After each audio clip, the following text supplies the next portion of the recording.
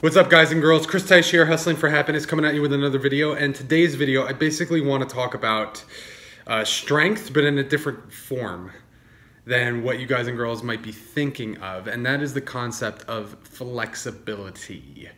Now, there's a really great saying. It's actually from the Marine Corps. Adapt, improvise, and overcome. Now, in order to be able to adapt, we have to be flexible. And what I see a lot of the times with people where they, they mistake stubbornness for strength. And so, in order to illustrate this point home for you guys and girls, one of my favorite books is the Tao Te Ching, you know, just known as the Tao, written by Lao Tzu, basically um, was the foundation of Taoism. You know, and as a lot of you people know, like, you know, I study martial arts, I love Kung Fu, one of my passions, and I remember reading in the Tao Te Ching. I believe it's verse 81. You know, the Tao was different to me, like reading it versus different books, different Western philosophies, because it did a lot of comparisons towards nature and comparing nature to human behavior, right? So in the verse, it's basically talking about the difference between an oak tree and a palm tree, right? Now, the oak tree is thick, strong, deep roots and it seems like the palm tree next to the oak tree is flimsy, weak, you know, just not not as grounded.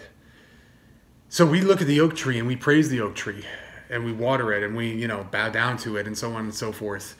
But then what happens is a storm comes along and the oak tree, which was so stiff and so grounded, is uprooted.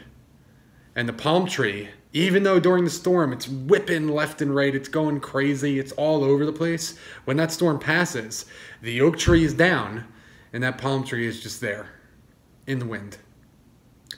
And basically, the point is to be flexible.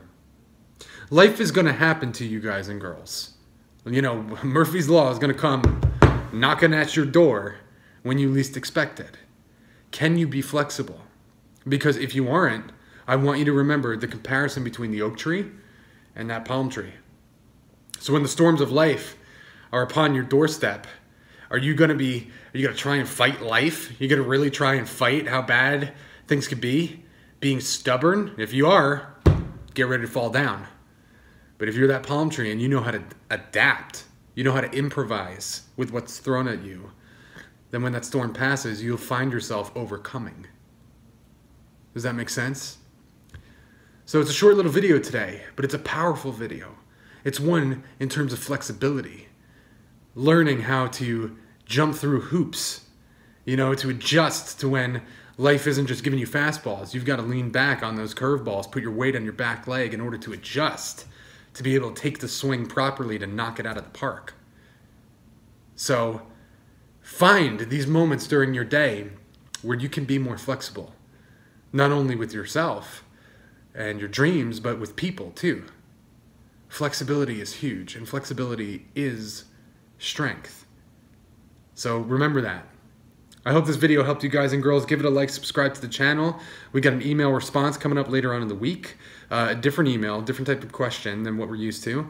So that's going to be interesting, and we'll see how I handle it. Tune in for more. But as always, keep hustling for happiness, people. Peace.